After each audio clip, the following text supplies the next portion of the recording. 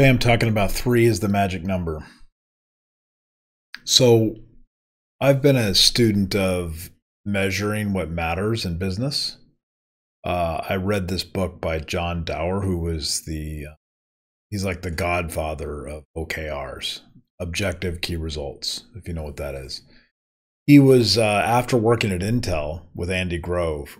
Um, by the way, Andy Grove is the one that created the OKR process anyway, John Doerr went, uh, he was an investor, early stage investor, which is what I aspire to be one day.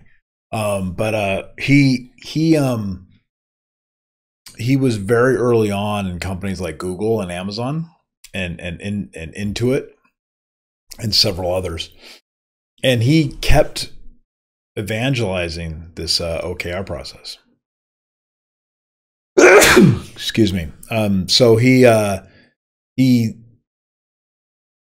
the OKR process is what a lot of these founders of these big of these companies who are now household names to us uh, have attributed their success to this OKR process.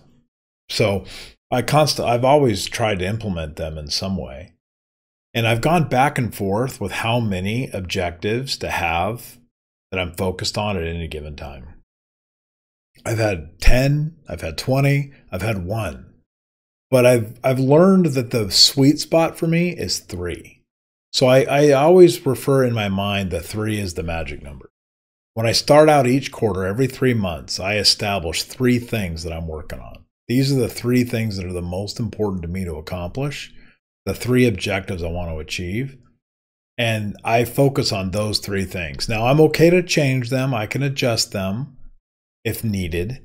Um, and every once every couple of months, usually three months, I will look at them again and make a real clear decision. Are these the things I'm focused on?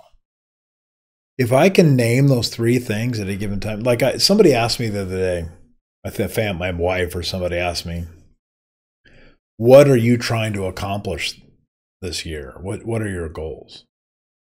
And I actually had those three things in my mind because I had been focused on the three primary objectives, the three things I wanted to achieve.